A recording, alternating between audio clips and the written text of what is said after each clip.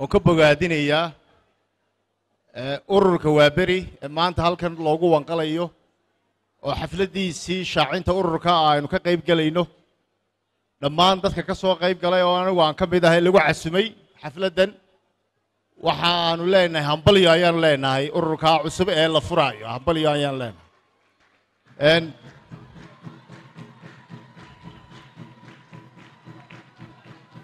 waxaa waxaan waxaa ogtihiin anigu horta waan ka maqnaa dalka ilaa saddex bilood meelaha waan ka maqnaa. Intii aan maqnaana waa intii ururada la furay.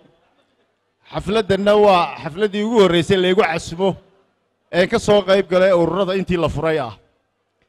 Waxaan sheegayaa oo aan halkan ka caddaynayaa inay somalilan dee sharcigeeda ay ku jirto in tobankii sannadoodba ururada mar la furo.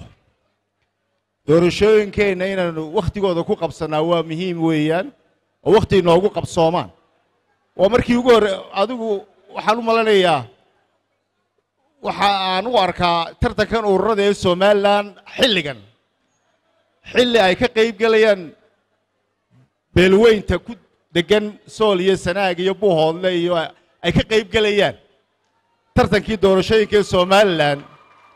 Waxa weeyaan waxay u tahay yidadiilo iyo wanaag bay u tahay somalilan. Somalilan la wada leeyahay. Ilaahay u naxariistay cali khaliif. Cali khaliif galen wuxuu odhan jiray waa ereygaa somalilan la wada leeyahay. War somalilan ma wada yeelanaa ninkii odhan jiray bu ahaa ilaahay naxariis jannadaha ka waraabiyo waxa weeyaan somalilan la wada leeyahay unbaa ictiraaf heli karta.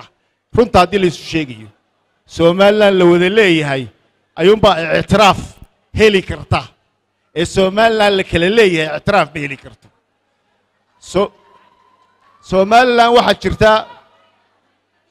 somalilan waxaa lagu aqoonsan karaa ama ay waddan ku noqon kartaa marka ay siyaasaddeedu furfuran tahay marka cid walba ay ka qayb geli karto. Waxa ay somalilan la ictiraafi karaa marka institutionskeedu ama habkeeda dowladnimo uu dhisan yahay ee shuruucdeedii adag tahay ee caddaalada jirto oo maxkamadu ay shaqaynayaan siyaasaddu ay furfuran tahay ay shaqaynayso dhaqaalaha dalku la kobciyo oo uu dhismo. Markaasaa ictiraaf dalka la siiyaa oo la yidhahdaa dalkaasi ictiraaf buu u qalmaa on iminka wax badan baynu soo qabsanay intii aynu jirnay laakiin wax badan badan badan baa inaga dhiman. Inaan runta isu sheegnana waa wanaagsanna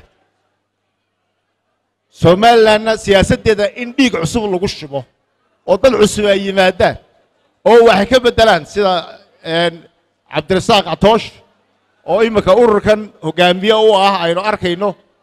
Dadka noocaas oo kale ah cabdirasaaq oo kaleeto ee wax bartay ee ganacsi galay ee waayo aragnimo leh ee wax beddeli karaya bulshada wax ku soo kordhin karaya dadkaasoo kale ayaa loo baahan yahay inay ka qayb galaan siyaasadda inay ka qayb galaan. Oo wax ka beddelaan wixii hore. Adduunka caalamka waa ogtihiin oo dal walba siyaasaddiisu way furfuran tahay.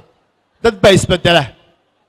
Laakiin somalilan waa meesha keliya haddee ee soddon sannadood afartan sannadood ay shakhsiyaad uun ay shakhsiyaad isgaranaya oo isku beela uun ay isku wareejinayaan oo iyagu un laftirkoodu ay halkaa ka socoto. Taasina siyaasad maaha. Siyaasaddu waxa weeyaan inay furfurnaato dalkan haddaynu doonayno inaanu serious ka noqonno oo ayna dhisno dadku waa inay dadku wada yeeshaan. Waa in siyaasadda la wada yeesho. Waa in hoggaanka la wada yeesho.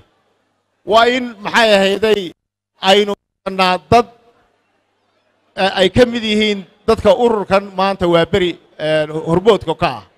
Markaa waan hambalyeynayaa wakhtiguna waa dheeriyey dad badanna way hadlayaan.